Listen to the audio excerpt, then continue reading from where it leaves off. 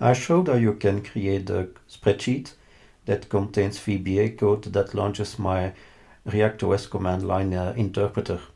And we started with the VBA code. Now I'm going to show you how you can create that VBA code from uh, a DLL. So you have my ReactOS here. Let's uh, unzip. So and this is the VBA code that we used. And here you have the DLL, the command line DLL.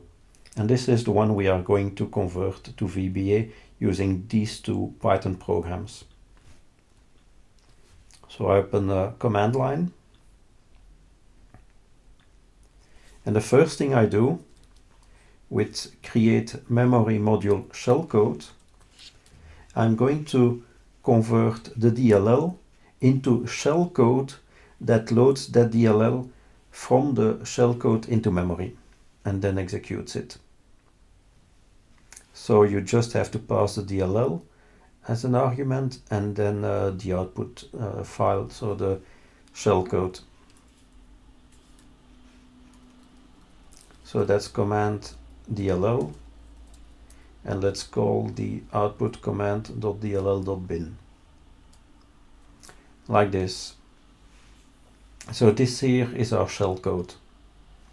And now we can convert that shellcode to VBA code that will inject the shellcode into the uh, process and uh, in our example that was Excel.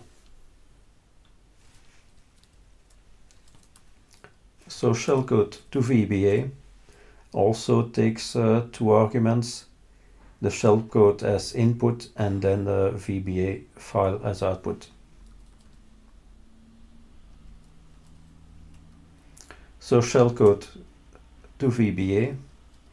So our shellcode cmd.dll.bin and our output cmd.dll.bin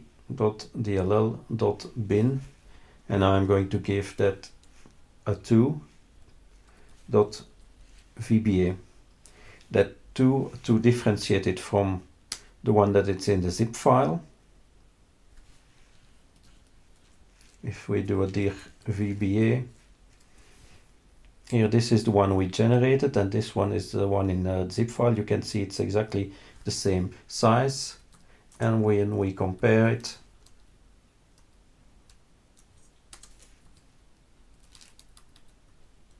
like this, you can see that the files are, are identical.